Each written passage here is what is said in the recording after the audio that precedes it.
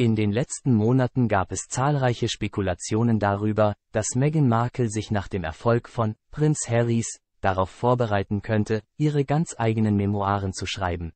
Meghan Markle würde die königliche Familie verärgern, wenn sie beschließen würde, in die Fußstapfen ihres Mannes zu treten und ihre eigenen Memoiren zu schreiben, behauptete ein PR-Experte. Die Herzogin von Sussex, 42, und ihr Ehemann Prinz Harry haben einen Vierbüchervertrag mit Penguin Random House abgeschlossen.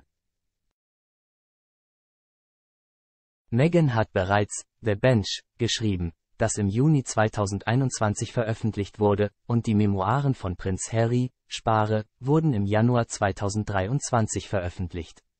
Berichten zufolge arbeitet das Paar auch gemeinsam an einem Wellnessbuch, und das vierte Buch könnte Berichten zufolge eine Memoiren von Meghan sein.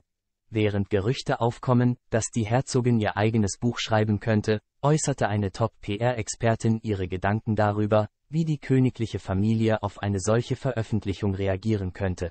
Lynn Carrot von Pressbox PR sagte gegenüber The Mirror, ich würde nicht sagen, dass König Charles oder andere hochrangige Mitglieder der königlichen Familie sich große Sorgen über Meghan Markles Memoiren machen würden. Sie wären trauriger als alles andere.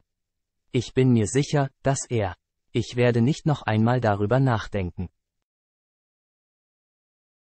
Sie fuhr fort, vor allem, da angenommen wird, dass sich die Beziehung zwischen König Charles und Harry erwärmt, nachdem sie zum Geburtstag des Monarchen telefoniert haben.